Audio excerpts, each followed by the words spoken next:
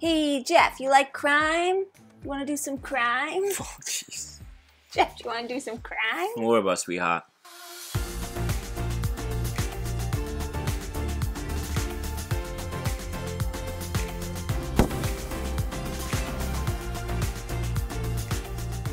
Hello, everyone. Welcome back to Foster the Meeple, a channel all about Board games. and New York gangsters. yeah, New York gangsters. Do you like crime?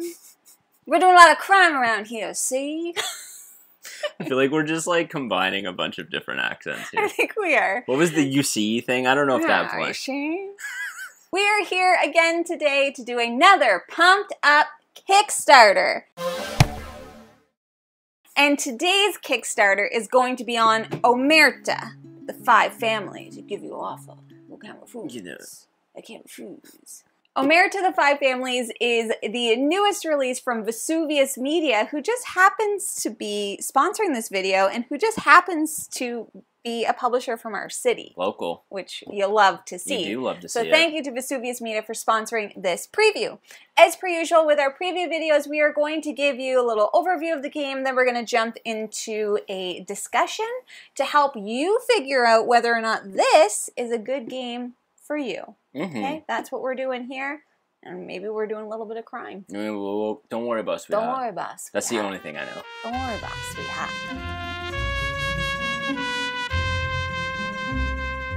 Omerta the Five Families. You step into the shoes of the leader of one of the notorious crime families that emerged in early 20th century New York City. Your primary goal is to accumulate funds through illicit activities, using money to recruit capos, expand your territory, and invest in profitable legal ventures.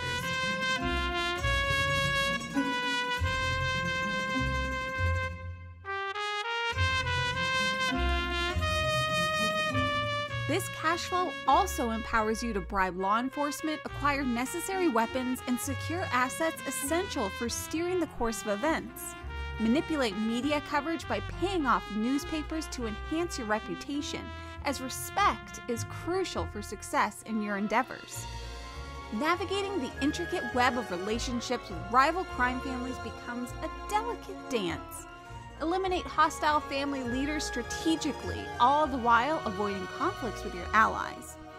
The challenge lies in managing these delicate alliances to ensure your family's dominance. When working with other crime bosses, you can try to present an offer they can't refuse, testing the limits of power and negotiation. Success hinges on your ability to maintain respect, as a revered reputation enhances your chances of emerging victorious in this high stakes underworld. We're back. The game is up here just like Mafia Magic. Bottom of the Hudson. Bottom of the Hudson River. We're so sorry. We'll try to stop the Oh. accents. Okay, so Omerta the Five Families is, believe it or not, about the five families, the Mhm. mafia families, which are from the early, like the start of the 20th century. Got it. okay, so this game is In a- New York. exactly. Welcome to New York. hmm Who are the families? You think I have them memorized? Genovese, Bonanno, Banan- Gambino, Gambino. Colombo, and Lucchese. Exactly. They're Italian. So this game is a scenario based game where you are kind of like playing out scenarios that like happened Mhm. for these families. The game is for 2 to 5 players. Some of the scenarios are for different player counts. So I just Mhm. wanted to throw that out there. Like there's one that's for 2 players only, there's one that's for 3 to 5, there's one that's for 2 to 5. And Like, you can kind of pick bunch. and choose which ones Exactly. you You want to play. don't have to play them Yeah. in like sequential order. Mhm. Some of the scenarios are going to have like lighter rule sets, so there is an introductory Yeah. scenario that you can play, and then some of them you're playing with everything and a little bit of a mix and match. Correct. So essentially, how this game works is you're going to select the scenario that you want to play. Based on the number of players, it is going to tell you which of the five families to play with. Mhm. So, as an example, the uh, Genovese and the Bonanno players are essentially in like. I bet it's Genovese. Exactly. Banana. I exactly. I can't stop doing this. we can't stop. Like, it, try, try to stop us. We can't. So you're going to be playing as whichever of these families that um, are used for like that certain number. So in a two-player game, it's the Genovese and the Mm. banana. I tried to not to say banana. Anyways, what are you doing? Well, that's I think pretty obvious. You're doing crime. You're doing crime right? stuff. There's illegal activities. You're bribing There's- newspapers. There's legal activities too. Let's be fair. Sure. Stuff, some stuff is above board. You are bribing newspapers and cops, and you are, it's kind of like a turf war essentially. So, like, when you think about all the families, they kind of go through all these different levels of relations. So, once again, depending on the scenario that you're playing out and the objective, because each scenario has its own objective. Mhm. So, you are kind of working through your relations with these other families. So, you might start off as friends Yeah. maybe even allies. But if you do something to them, maybe you're neutral. Ooh, you do a little bit, maybe you're hostile. Mhm. And if you attack, well, then you're at war. Yeah. So there's varying degrees of relationships with these families, and there is a part of this game in some of the scenarios where you actually like kind of negotiate that between yourselves. So if Jeff and I are two families, we might be like, hey, listen, I've got some cards in my hand that could really benefit you. Mhm. If you help me out later, I'll play this for you Mhm. now. And then you could be like, all right, then we're friends. Because some cards are more beneficial. They're all randomized, Yes. but some cards are more beneficial for certain families. Yes. So Jamie could have a bunch of cards that I need for my family. So she'd be like, "Hey, Don't don't worry about sweetheart." Don't worry about I got you. Mm. Okay. Anyways, so each scenario is going to give you a story, it's going to give you a plot, it's going to give you some objectives of winning. Mhm. So it might be like whoever you know kills the most people or whoever like owns the most territory or whoever does xyz it really depends on the scenario so you are going to play over a varied number of rounds depending on the scenario in order to fulfill those objectives what i will say just to start this is definitely a heavy game okay this Yeah. is not like a lightweight medium game there are a lot of rules There's a lot in of- this game There's a lot of nuance hmm and uh, dependencies and triggers, and hmm there's a lot to do in in uh, in both actions hmm that are selected, phases that are happening, and in between rounds. There's there's a lot going on in this game. It is very in depth Mm-hmm. in terms of what would actually be happening between these families. Exactly. So essentially, how it's going to work is you're going to start off with like a story phase. Mhm. Like I mentioned before, each scenario is going to come with story cards. So you're going to flip it, you're going to read it, you're going to do whatever it says. It could be like, hey, put a few tokens out here. Um, these areas are affected. You have to pay extra to move into them, whatever. And it's going to give you a little bit of story behind that. It's actually going to give you some like real story Mhm. behind like when it happened and why it happened and all these things. Then in some scenarios, but not all, you're going to go into a commission phase. And that is where you're doing that negotiation that we were just talking about. It's like, hey, I'm gonna help you out, you help me later, let's be friends. You're trying to say that. And I will say, you can lie. hmm Of course. I mean, it's the mafia. Hey, I might tell you I'm going to help you, but sucker, guess what? I'm not. And then you're going to go into a bribing phase. And the bribing phase is where you're actually bribing newspapers because you want to get a little bit of respect. Mhm. Okay. And then you're also bribing the police. So you're like, hey, I'm paying you. Protect my assets. Exactly. Protect my areas. Exactly. So as you're bribing the newspapers, like I mentioned, you're doing that to gain respect because respect is a huge part of this game. It's a huge part in like the mafia Yeah, you gotta- history and the lore. Yeah. And so you, You, want to be well-known family. Exactly. So you want to be well known, you want to whatever. So you're bribing the newspaper, whoever puts in the biggest bribe gets respect, whoever puts in the littlest bribe loses respect mm-hmm. because that's just how life works. With the police, you're actually bribing the police to maybe like turn a blind eye. Maybe they're on your side a little bit, and you actually get a little police token that you could put into one of your areas that kind of gives you a little bit of strength during battle, which we'll talk about later. Probably a good time to mention the board portion of this it's New York. is New York. Yes. Uh, there is New Jersey.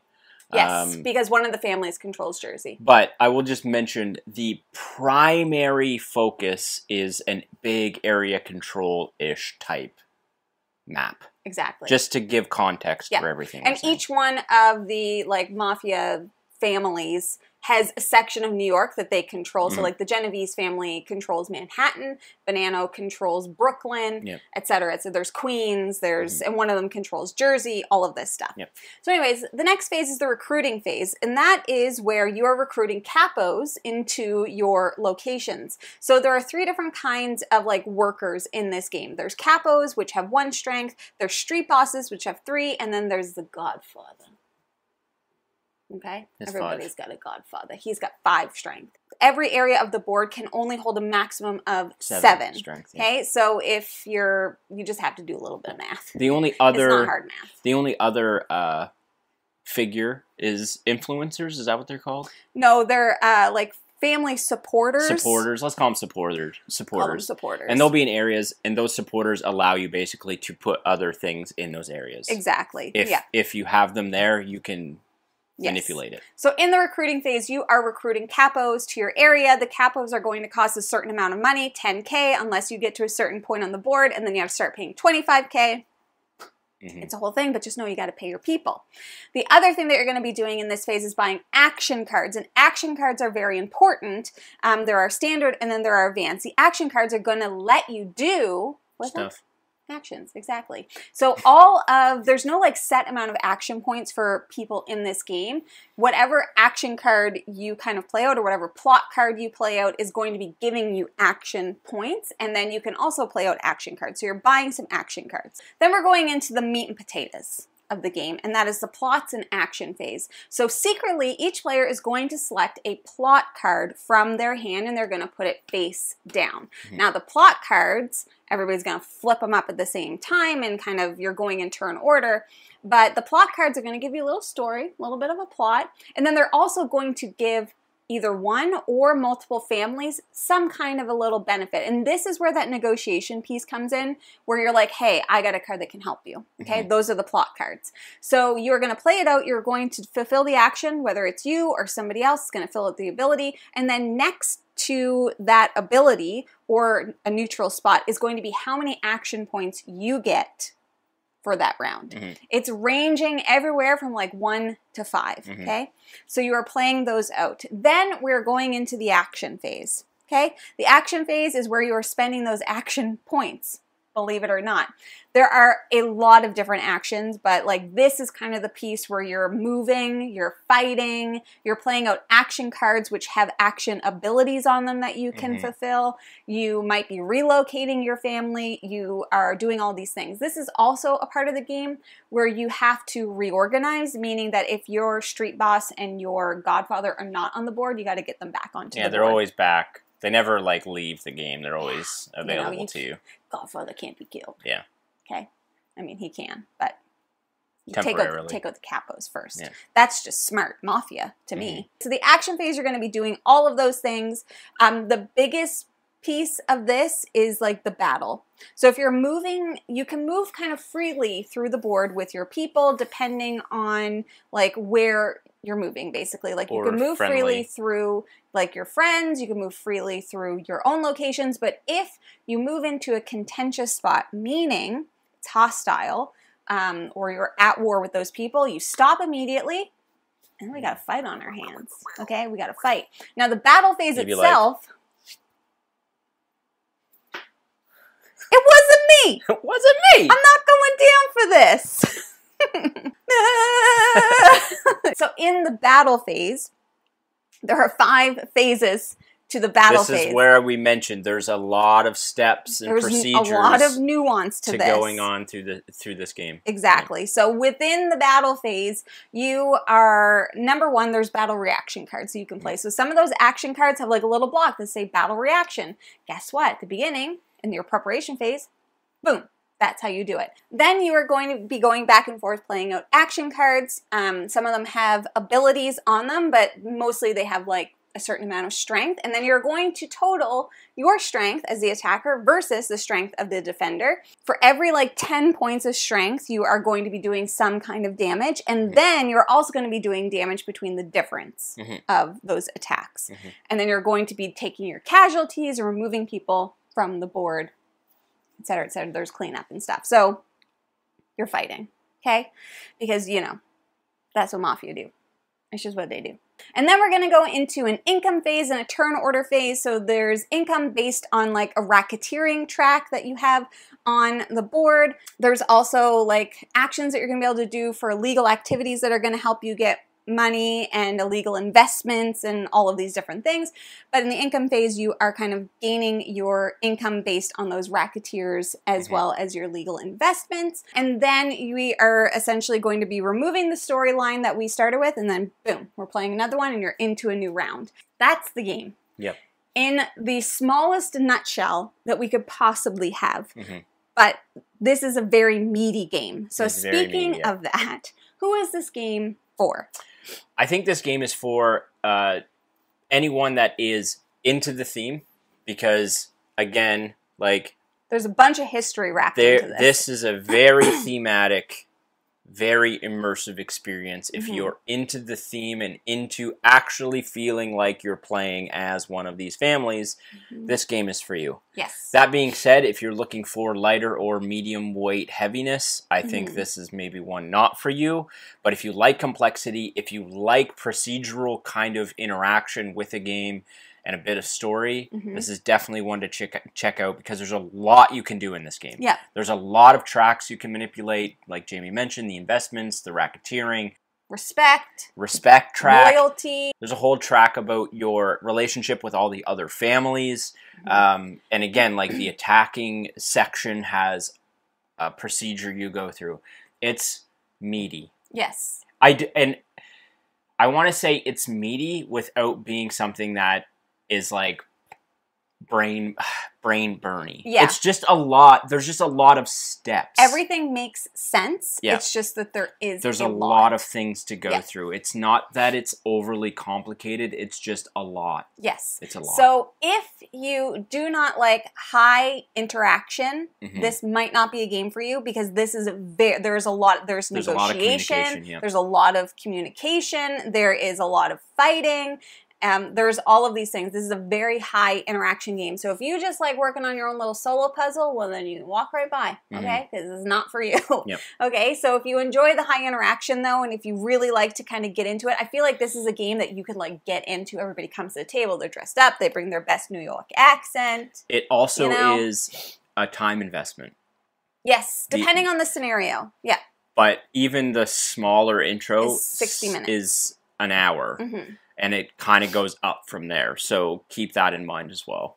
It's it's For sure. This is an experience. This game is an experience to play, Exactly. and very much feels like an experience. Yes. So if any of those things sound like something that you might not be interested in, well, then it might not be Mhm. for you. But if it does sound like something that you're interested in, well, look Mhm. no further. Yeah. Become a crime family in mere seconds. Okay?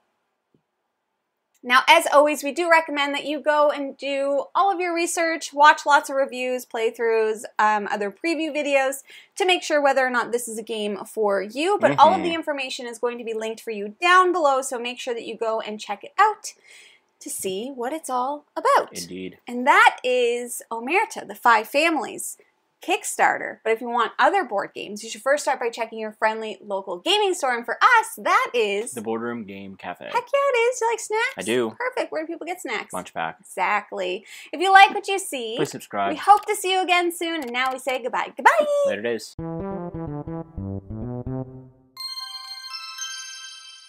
Beans, Beans, the musical dog. You look like you're in the summer, and I look like I'm in the winter. Don't worry about it, sweetheart. Did somebody say crime? Stop looking at me, you see? Uh, crime. Okay. Now, now. If the salad's on the side, I send it back.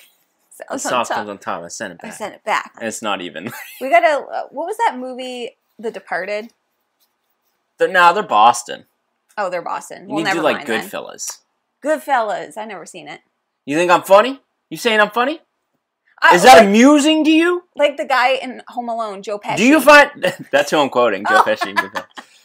We're back in the I game. did. I did like a weird thing at the end. Like I'm funny. I'm like funny. almost like I was in. Do you think I'm Midwest. funny? Don't care. sound like Scottish. We're not good at accents. We're not.